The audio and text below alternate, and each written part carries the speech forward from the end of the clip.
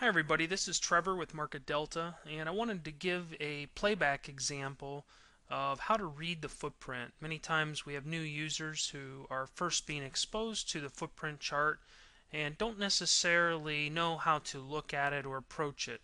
Now while there's many ways you may look at this and you may be a seasoned trader with lots of experience and you know how you want to apply the data, that's fine. But there's certainly others who aren't quite sure how to even begin looking at it. And so, from a real time perspective, I want to walk through an example and just give at least one perspective of to how you can read the data.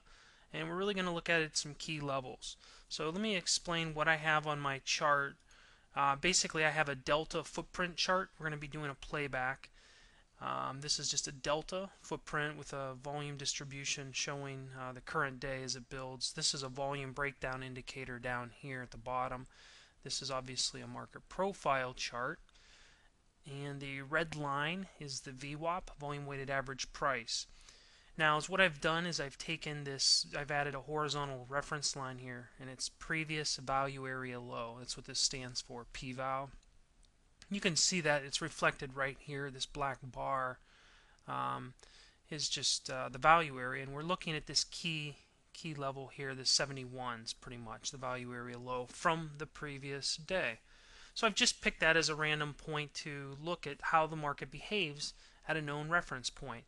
So I'm going to go ahead and start the playback. You'll see this, it's going to be in a high speed. It's basically playing back 20 seconds of market activity every second. And uh, we'll let this play. Now, okay, notice it's first testing. Okay, I'll pause that. Notice how it went up and tested the value area low from the previous day. So we gapped open, trading a little bit below it. Nothing major. But we went up, and if you saw, if you back up the video, you see this was initially dark blue, and then it became more light blue. So the aggressive buying that pushed it into it became much more neutral as it hit that point. The sellers started to step in and neutralize the trade. Let's just continue to hit play and we'll watch it as it as it builds here. Now something you want to note as it trades, notice down here at the bottom, this is the cumulative delta for each bar. So if you added up all these numbers, it gives you an idea of whether you're seeing more selling or more buying within a particular bar. So it's important, especially to look at at new lows as we're pushing new lows right now for the day and to see how this behaves. Okay, now this was a perfect example, and I know this is kind of a fast talk through as we were trying to watch this, but notice as the market was trading lower, for the most part we were seeing selling.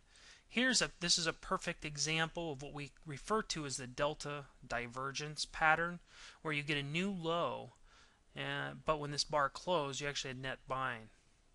There was more aggressive buying at those low prices. Also notice the volume node that it's that it's building here. Now another thing that makes this a real nice pattern is we had this reversal pattern where we traded to new lows and notice how this bar is composed had more net buyers, more trading at the ask, but it also has follow through. And this is something that the footprint, you won't see this on other charts because you're not seeing a bar broken up bar, price by price.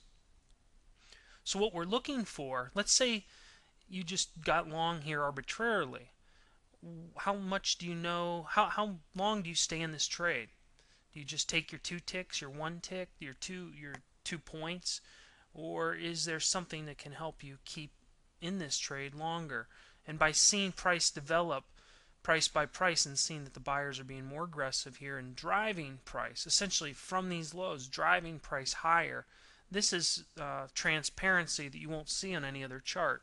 So when it comes down to the execution level, deciding when to take the trade and then monitoring the trade once you're in it, that's going to be, those are two key benefits to the footprint chart. So let's go ahead, hit play again, and let this play out. Notice it's going to go back up here and test. It's testing this area. Just watch it play. Notice what we see here. I don't even have to say it. You're probably thinking, look at how the sellers came in in that retest. Now it happened to be the, a retest of the high of the day, but it's also at this known reference point that we've we've marked on the chart. So it helps make the decision easier to actually take the short.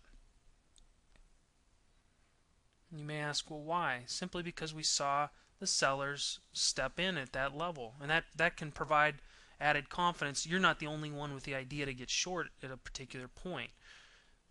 One of the things that uh, this you can the way you, one of the ways you can view this as is more the a view of the market psychology. This is how traders across the globe are interacting with price. So you can see, is it traded higher from here? Okay, now look, now you see the, now you can see how this, the buyers came, came in fairly strong.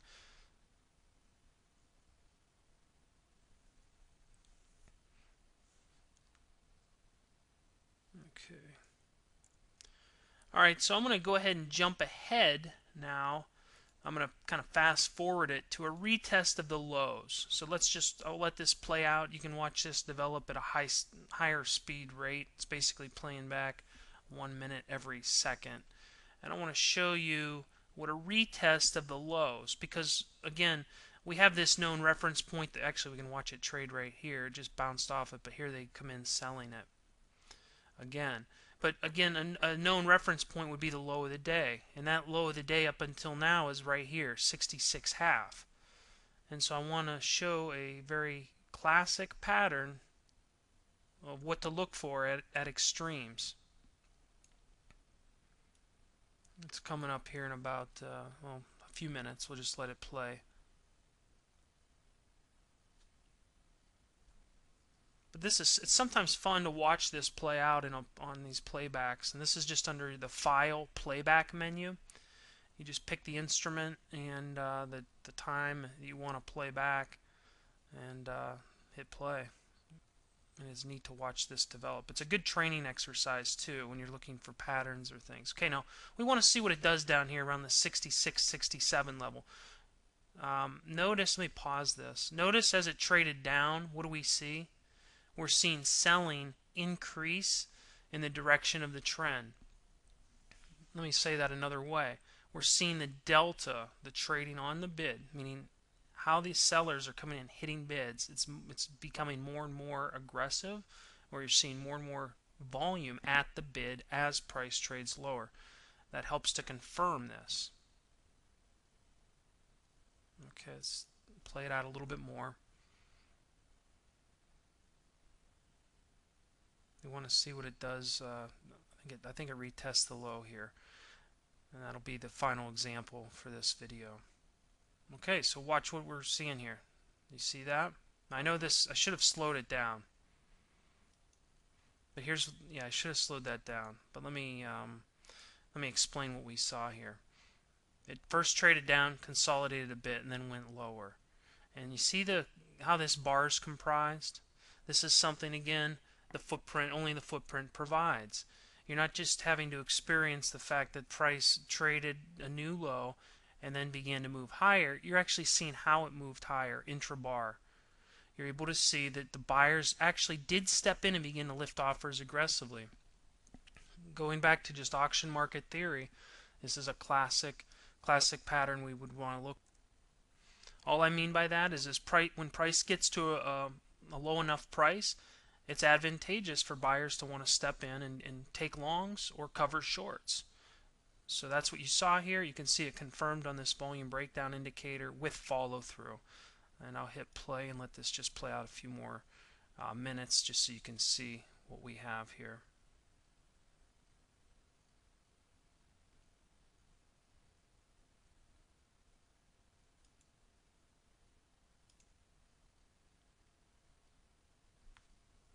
Okay, so hopefully you found this uh, this example useful. We'll try and do a few more of these as we go. Um, if you're wondering what the periodicity of this chart is, that may be one that uh, someone's thinking. If I double click the chart, I have it set to one and a quarter range. This is one you often see examples of uh, throughout Market Delta's webinars and stuff. It's a nice, nice periodicity to check out. So 1.25 range. Uh, if you want more information on that, check out the knowledge base uh, or the help manual for the range periodicity. Thanks, and make a great day.